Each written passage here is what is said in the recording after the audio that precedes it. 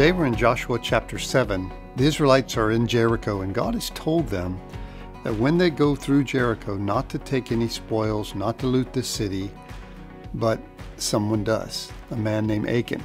He takes some Babylonian garments, he takes some silver, he takes some gold, and he hides it under his tent. And then the Israelites go to fight this group of people in Ai.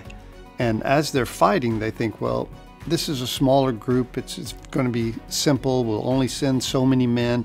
And what they find out is they get soundly defeated. They, they get conquered very quickly. And Joshua's kind of beside himself. Where's the Lord? Why is he not helping us? Why are we not winning this victory? And he's praying, and God comes to Joshua and he tells him to get up, to stop praying, that someone has disobeyed. And so Joshua goes through this big process and he finally figures out who it is. It's this guy named Achan. And Achan is taken and his whole family to the center of the people right there and they stone him to death. Here's what the Lord said to Joshua while he was praying about the situation. The Lord said to Joshua, Get up.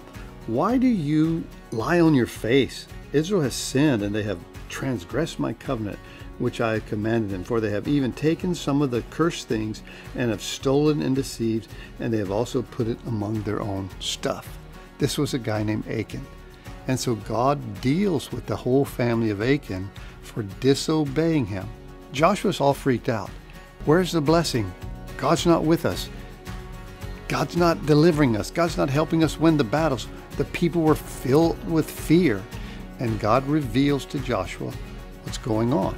And there's a principle here for you and for me. I want to read one more passage from the book of Galatians in the New Testament that kind of, I think, connects us to an Old Testament passage we just read. It goes like this And those who are Christ's, you and me, those who are Christians, they crucified the flesh with its passions and desires. If we live in the Spirit, let us also walk in the Spirit. So here's the principle the guy who stole, the guy who did the evil things, the guy who disobeyed the Lord, well, he died. And we're called to put to death those things in our life that are disobedient to God, to crucify them and to walk in the Spirit.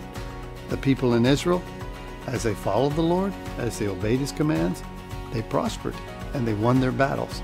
And in many ways, I believe it's the same way for you and I, as it speaks of in Galatians.